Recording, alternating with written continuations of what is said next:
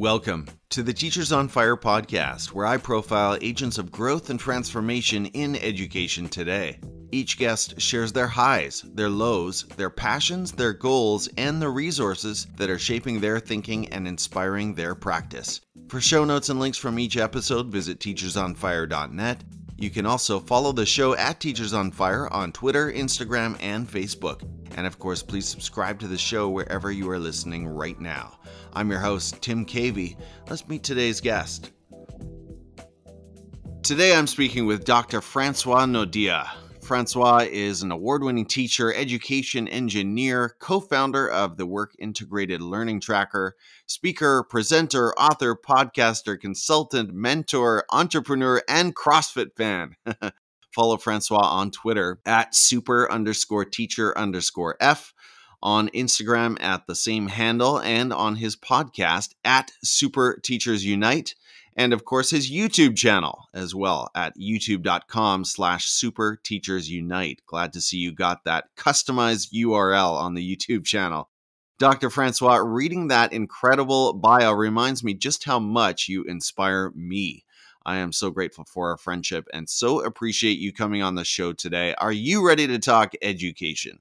Tim, I am on fire and I'm ready to go. That's the answer I'm looking for. Francois, why don't you start by telling us a little bit more about your current context in education? What does that look like for you? Tim, I'm currently an education consultant. I started my own uh, education consultancy about six or seven months ago with the with the motivation and the purpose to motivate, inspire, and support teachers. Um, I come I come from a background of teaching. I taught in public and in private sector here in South Africa for eight years. Um, I won the National Teachers Award in our country, and then I was asked to come and train teachers at the University of Johannesburg. And um, whilst uh, training other teachers in a university setting, I just realized that I'm not fulfilling my purpose. I'm being taken away from working with in service teachers. And that's really where my passion lies. So currently, I'm uh, working with individual teachers, I'm working with schools, um, as well as with universities to see how we can um, train teachers and how we can coach teachers to be super teachers. You mentioned the timeline. You started this consultancy six or seven months ago, I believe you said, and then you walked right into this global pandemic crisis. So, before we go any further, Francois, how are you doing through all of this, and what does the quarantine look like in your world? And, of course, also importantly, how has it affected your work? So, um, on, a, on a personal level, I'm uh, quite. Uh, uh, fortunate to be quarantining with uh, my family. So I've got my brother. The two of us are, are, living together in a flat, but it's on the same premises that my parents are staying. So the four of us are, are quite knit family, uh, a close knit family, um, and we're luckily spending the time together. So in the last what's it eight eight or nine weeks already that we've been um, first self isolating and then we, our country went into a national lockdown um, in stage five, which was a total lockdown, and we're now easing a little bit out of it. We're currently in stage four, which basically means exactly the same as stage five, but you're allowed to go and exercise in the morning a little bit. Um, so I'm, I'm quite fortunate to be with my family. But um, as you rightly said, I mean, this is a major impact globally on on all companies. But I mean, I think the the, the small to medium businesses are feeling it quite hard. And um, I think on the first day that uh, our president announced uh, that school closures about a week or two before we went into national lockdown. Um, and the following day, I had nine of my events cancelled. Um, so you can think that that's quite a, a, major impact on on somebody who just started their their consultancy. But I must say, it's um, for the for an entrepreneur, I mean that that feeds right into your your your area of, of interest. If if entrepreneurship was easy, everybody would be doing it. So um, I, I, I took I took that knock and I was like, you know what? How can we innovate now? What is the the the need, wh- where's the necessity. And what I saw happening um, is a lot of teachers not uh, embracing online teaching whatsoever, or at least integrating technology in their teaching. Um, and I think that's the direction that my consultancy and uh, my coaching went in, is supporting teachers now during um, online teaching and, and, and how we can, can innovatively um, teach uh, in an online or in a remote modality. Innovation and further iterations are really a part of our work. That's part of what we do and who we are as educators. So I love your positive spin. I mean, that would be a devastating blow to lose nine engagements uh, in one day. And yet, uh, I've heard nothing but positive energy coming from you, Francois, over the last few weeks. So incredible stuff. I want to get into story time. And if you've heard a few episodes, which I know you have, you, you're familiar with this segment would you share with us about a low moment or an experience of adversity that you've faced in your teaching or education career other than the last two months and describe how you overcame it?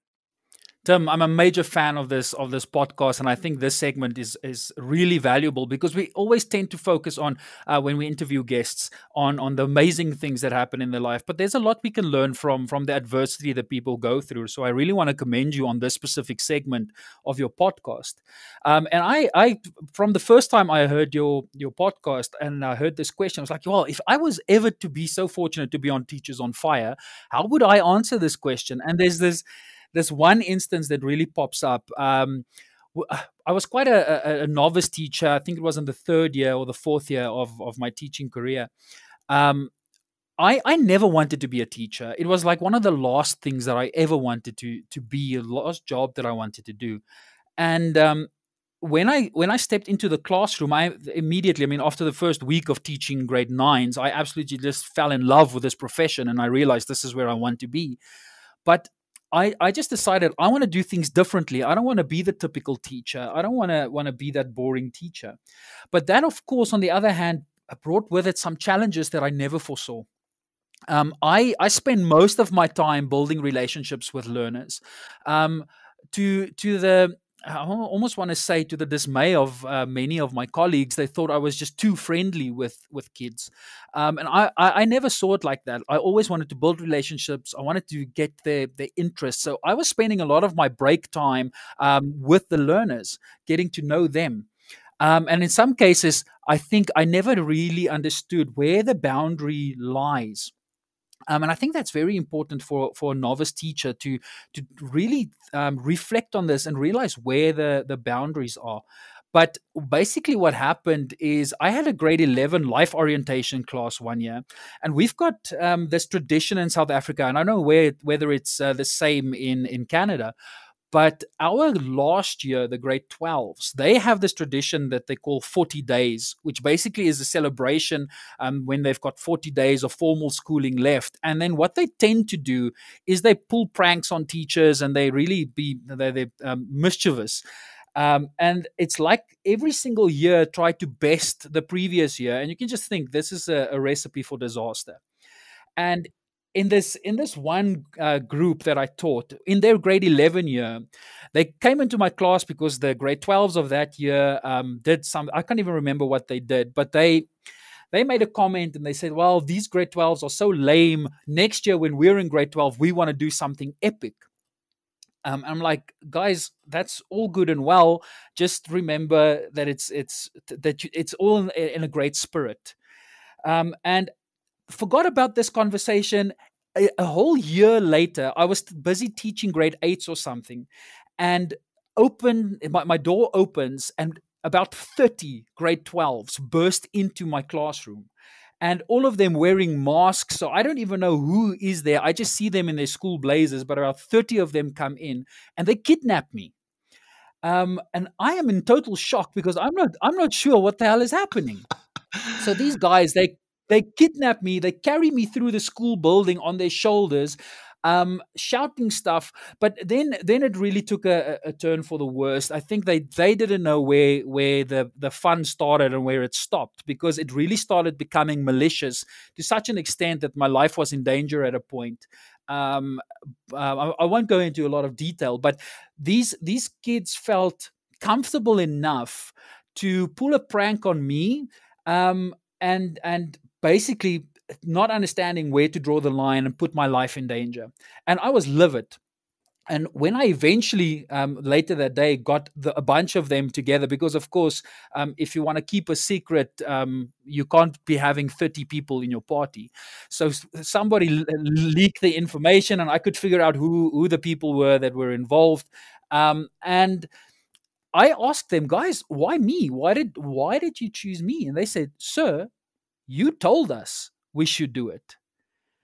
And I'm like, what are you guys talking about? There's no way that I would give you permission to do this. And so, no, no, no. Remember last year in that life orientation class, we said we want to do something outrageous. And then they reminded me of my own words because I said this. And as they said that, I realized I actually said this that I told them, if you want to do something, just make sure it's epic. It can't be lame, it can't be something stupid.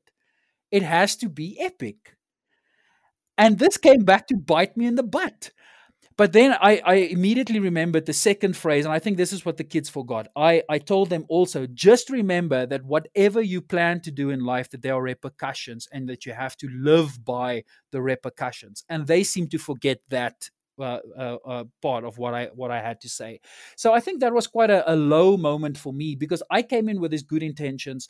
I wanted to make a difference. I really wanted to build a relationship with the kids but I didn't communicate it effectively, and I didn't even think about the, the the, repercussions of the words that I had to say in class. Incredible story, Francois. I'm laughing, but I completely understand that. On the other hand, it, it, as you said, it got quite serious, and and the kids took it to a place that it shouldn't have gone. I, appreciate your takeaways as well, and I hope for those young people that it did become a, a life lesson that they got that. I think you said the course was life orientation, right? So yeah, hopefully, hopefully a year later they learned something that uh, from that prank gone way too far. No, that uh, that 40 days ritual or tradition is something that I shudder at. I hope that never comes to North America because that sounds terrifying. But thank you for sharing that. That is incredible. That's amazing. Francois, I'd like to go next to your super teacher. You've built this brand and now your podcast, Super Teachers Unite, around this term. So let's ask the all important question. In your opinion, what defines a super teacher? So that's that's um, a very very important question to ask, and I think every single teacher needs to ask that question. What what makes a competent teacher? What makes a teacher great?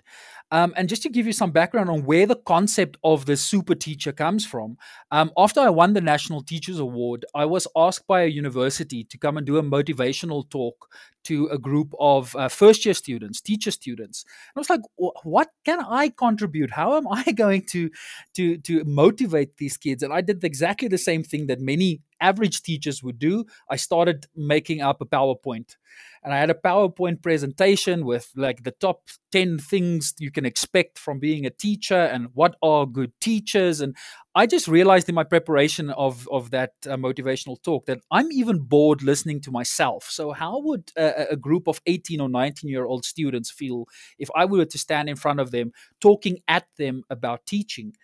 And at the time, uh, the Marvel Cinematic Universe just was on the up, um, and there were a lot of these superhero movies. And I decided to to um, to construct or frame my talk around this concept that every teacher is a superhero.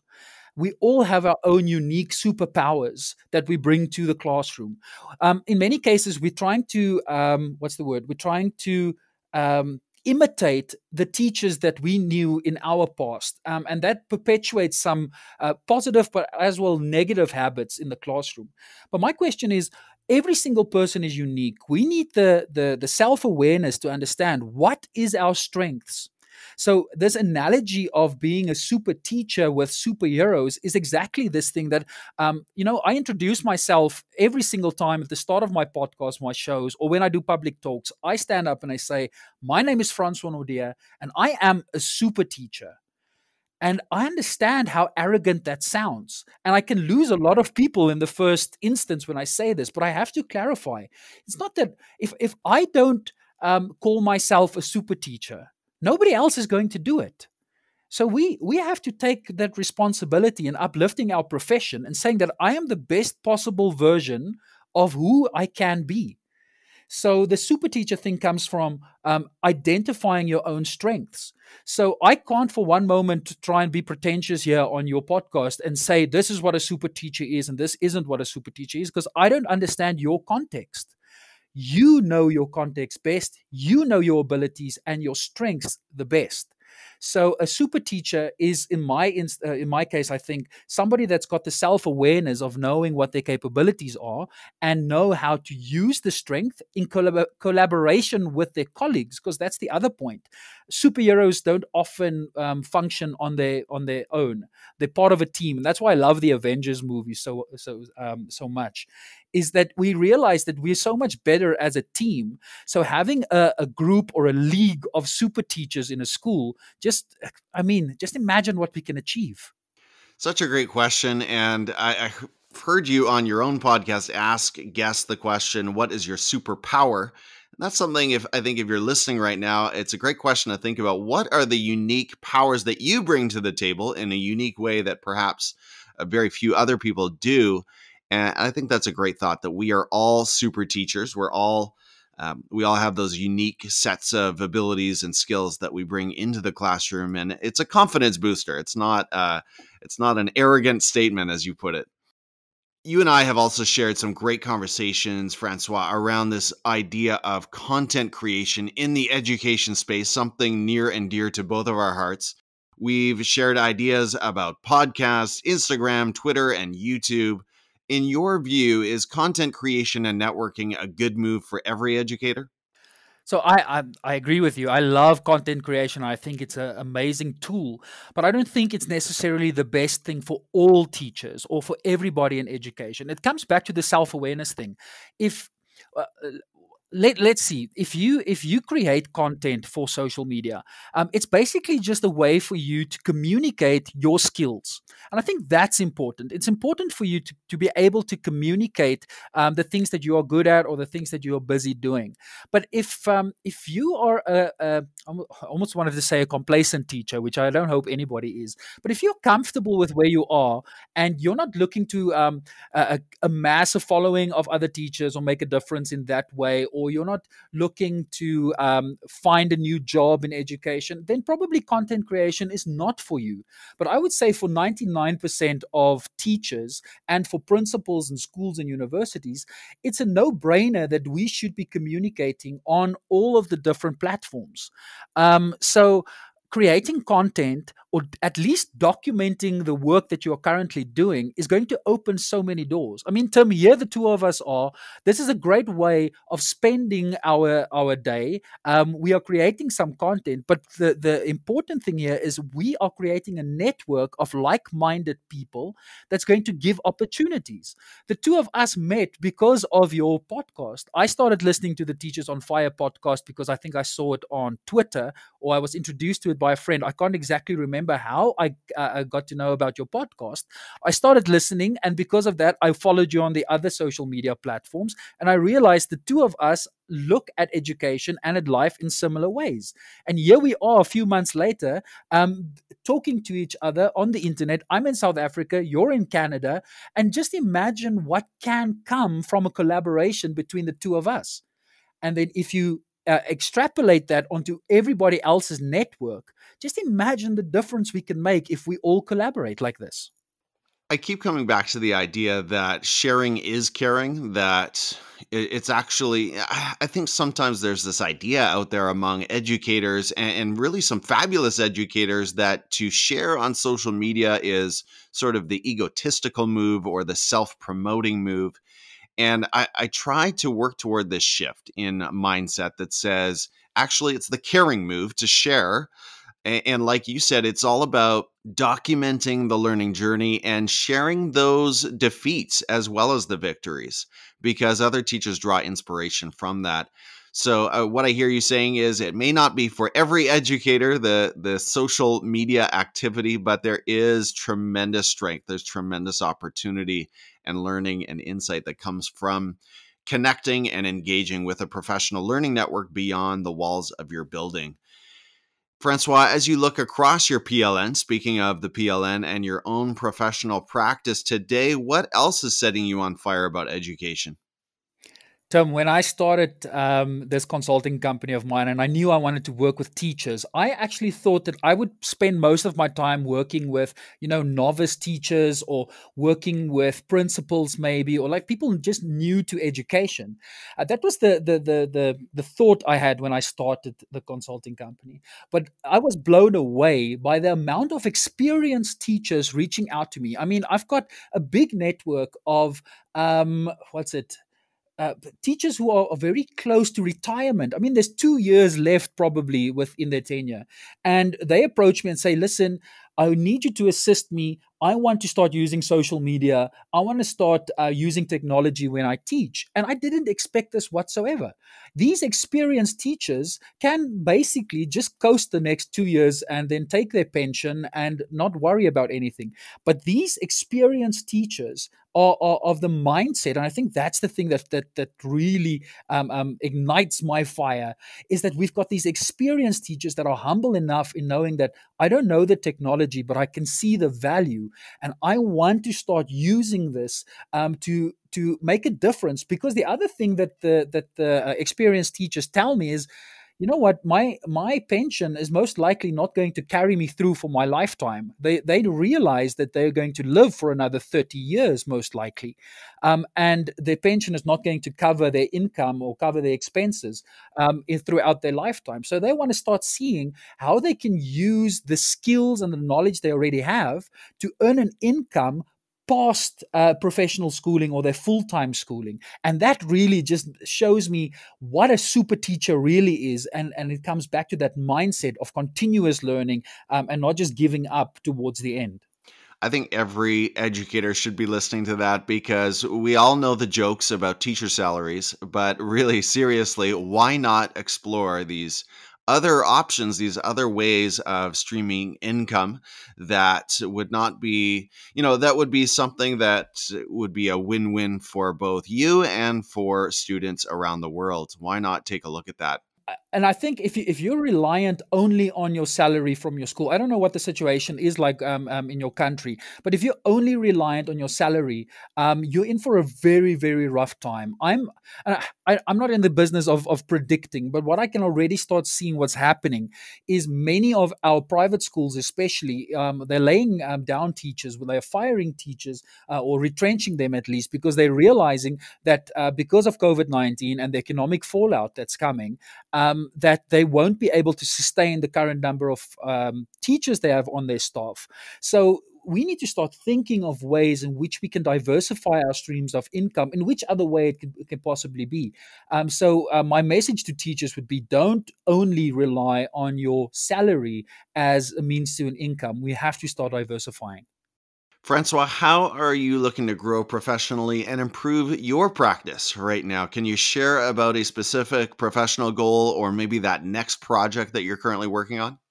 So my um, next goal is focusing on this business of mine and keeping on motivating, inspiring, and supporting teachers, and finding new modalities to do that in. So um, what started happening recently is I started uh, learning about uh, online events and how I can host professional development events for teachers, not just the typical let's do a webinar and now for the next half an hour to an hour, we're trying to basically upsell you to a product that we're doing. That doesn't make sense to me.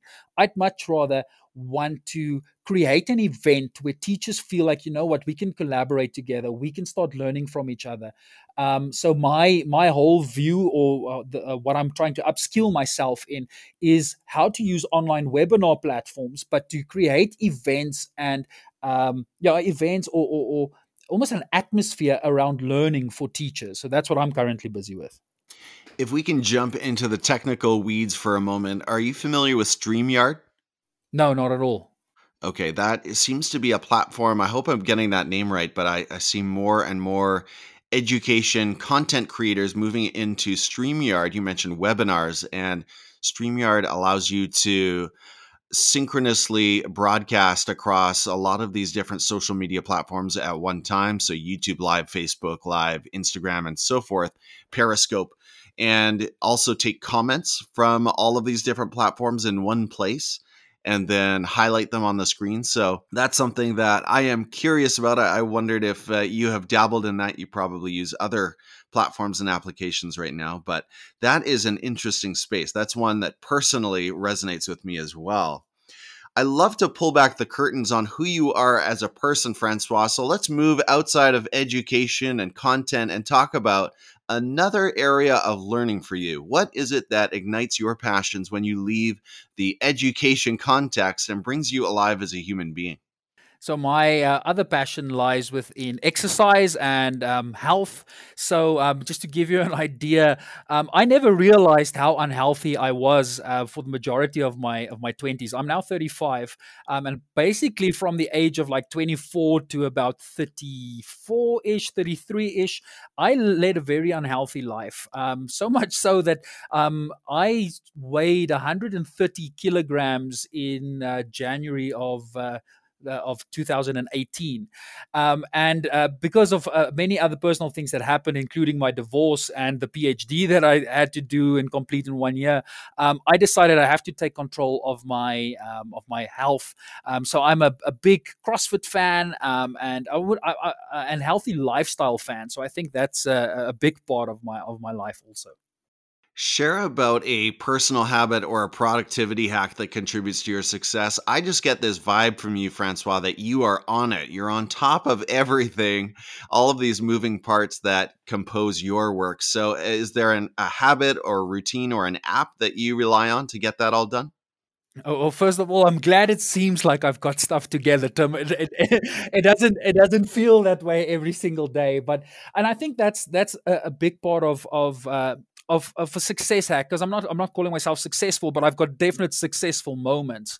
Um, in that number one i start my day and i make sure that i've got space in my day for exercise. The the not ju- it doesn't just contribute to your physical health but also your mental health. I mean and that's that's when i listen to the teachers on fire po- podcast is when i'm out on the road for a jog. Um, so that's that's a big part of my day um, is exercising um, and then the second one, I think, is just to um, organize my day into into chunks. Um, I don't like working on the same thing for more like 45 minutes. Um, I want to I want to work on something for half an hour to 45 minutes and then take a solid break and do something else. I can't I'm not one of those people that can spend 3 4 hours working on the same thing. So for my personal uh, productivity, I I break up activities into like 30 to 45 minute chunks and that's how I get work done. That is so interesting. I was just listening to a podcast the other night from Brendon Burchard. He's the author of High Performance Habits. And he was saying from all of his research, the time is right around 50 minutes. So you're right in that same neighborhood of 50 minutes, 45 minutes of flow state or deep work. And then take that break, revitalize your mind, and then get back to it. So yeah, that's that's uh, a great strategy. It's not one that I have mastered yet, but I like the sound of it for sure. It's one that I need to aim for.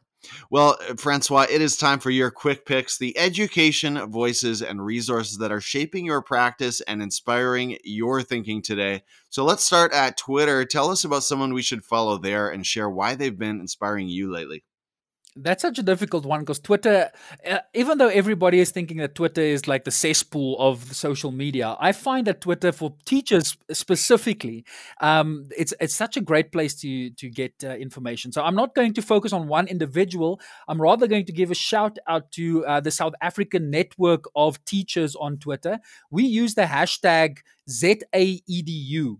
So ZA is the uh, abbreviation we use on the net for South Africa. So every if you see a website that's .co.za, that means it's from South Africa.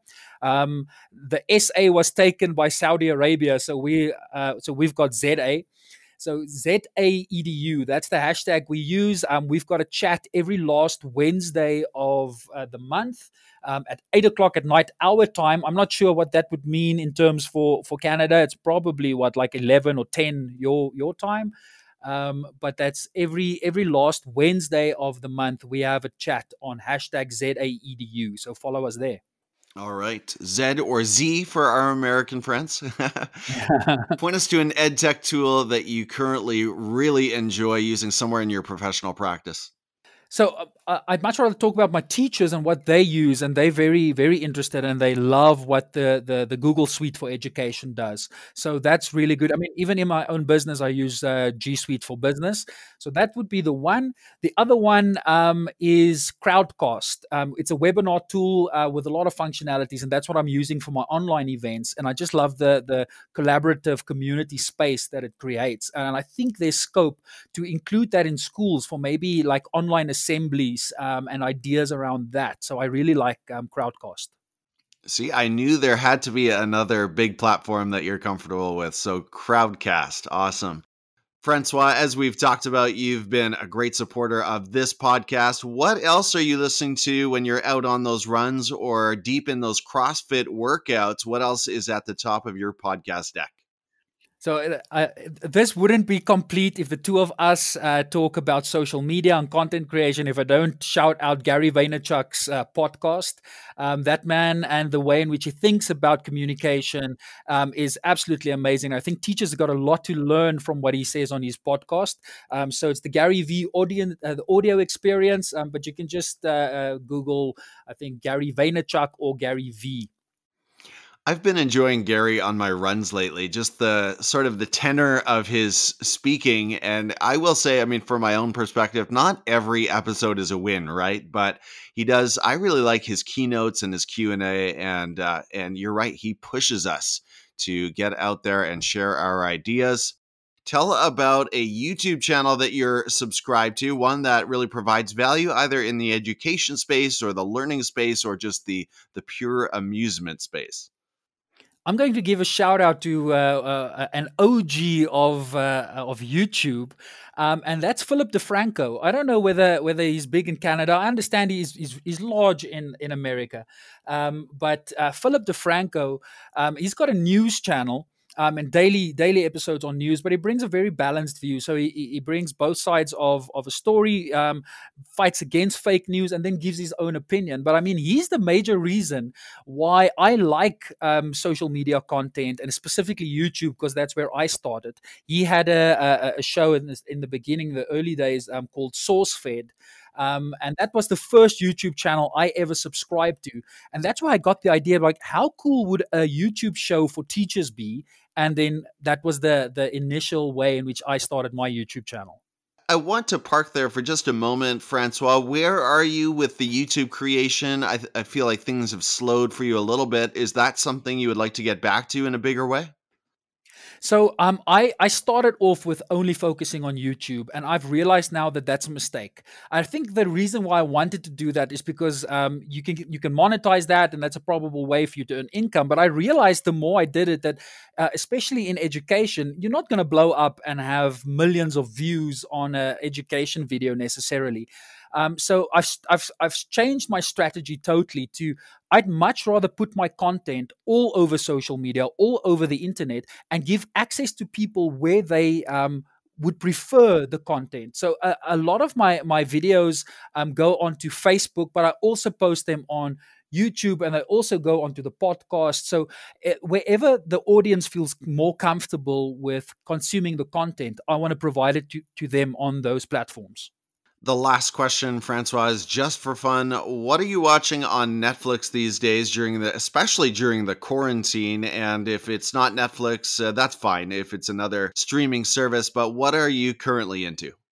So, um, I actually play a lot of Magic the Gathering. Um, so I don't, I don't really watch too much TV in in, in general. Um, or stream a lot of, of videos. So I, I play a lot of Magic the Gathering. So the uh, I either spend playing online or I consume content about that. So that that takes away a lot of time from from consuming uh, um, other content. But I do watch Rick and Morty, and I'm glad that the new uh, episodes are, are, coming out uh, in the in the next few weeks. Um, so I'm a major major fan of of Rick and Morty. What is Magic the Gathering? enlighten me. Okay, so um, it is. Uh, I think it started in the early '90s. It's a trading card game, pretty much the same as Pokemon. Um, but quite huge. I know in, in America, in uh, uh, in the United States, it's it's it's large, it's huge. Um, it's basically a combination between fantasy gaming and chess. Um, so uh, a lot of spin-offs came from it. Um, I think um, I don't know whether uh, you're familiar with the game Hearthstone, uh, but Pokemon is the other one. So it's a trading card game, but a strategy fantasy type uh, game. So fun. Francois, we mentioned all of the different social media platforms, and I think that is great advice, particularly for educators looking to share their ideas and resources. You've got to make yourself available wherever people live. And I, I think it, it doesn't work long term to just expect them to come to one space although we are limited by time in many respects. What are the best ways for the listeners to follow you, and where can they go? So, if uh, your audience would like to consume my content, they can just Google uh, Super Teachers Unite, and that'll probably bring up either Facebook, uh, YouTube, or the podcast. And if they want to reach out to me, um, I'm very active and very responsive to uh, to teachers. If they want to DM me on other platforms, uh, they can go for at super underscore teacher underscore f. So that's typically um, TikTok, uh, Instagram, Twitter. Yeah, those three. Yes, I've now made three TikTok videos, Francois. I'm really, I, am still such a TikTok newbie, but it is a fun place to hang out, especially on those days when you're feeling a little down. This has been so much fun. It's been a long time coming, Francois. So I want to thank you again for sharing your time with the podcast today. I'm so grateful for your support. I, I applaud everything you are doing and offering teachers. And as I mentioned earlier, just that positive energy, that optimism that you bring to the profession. It's so uplifting. So thank you again. Take care and let's talk again soon. Thanks, Tim. It's absolutely amazing being part of your show and keep on doing the great work you are doing. Um, I see you're going to go places. Before we sign off today, I'd like to share some highlights from the Teachers on Fire Nation. First, on Instagram, I posted a quote from Dan Schawbel that read My prediction is that in the next 10 years, resumes will be less common and your online presence will become what your resume is today at all types and sizes of companies end quote. And to that john sowash at jr sowash replied quote 100% this is already happening with coders. Nobody cares about what degree you have. They care about what you did end quote Thank you so much for that comment, John. And of course, make sure to give John a follow. Again, his handle is at JR Sowash. That's John Sowash of the Chromebook Classroom. Over on the Teachers on Fire group on Facebook, my colleague Megan Churchill Brown wrote, quote, Had so much fun talking with you today. Thanks for supporting and encouraging me and other teachers. End quote. Of course, Megan was referring to a post I made about Instagram Live and our conversation there, so keep an eye out for me on Instagram and by all means do reach out if you too would like to be part of one of my 10 to 15 minute learning conversations there. And to Megan, thank you so much for joining me there in my little but growing group on Facebook.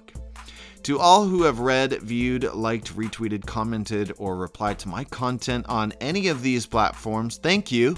You are the fuel to my fire, and I so appreciate your support. I want to leave you with this quote from my reading Teachers on Fire. It's from a classic, Teach Like a Pirate increase student engagement, boost your creativity, and transform your life as an educator. And of course, Teach Like a Pirate is written by Dave Burgess at Burgess Dave on Twitter. And he writes, quote, We have unbelievably talented kids sitting in front of us, and many are starving for the opportunity to display their creativity. We should do everything we can to provide them the opportunity to hone their artistic skills and create. End quote. I love the sentiment there, and the quote itself is so challenging. Am I really doing everything I can to give each of my students opportunities to express that creativity? That's something I always want to push myself on, and I'm sure you feel the same. Again, I'm your host, Tim Cavey, and I'm so grateful that you decided to spend some of your day listening to this podcast. I hope that in some way the content you heard from Dr. Francois Naude ignited your thinking and inspired your practice. And I'll meet you next week right here on the Teachers on Fire podcast. Take care and stay safe.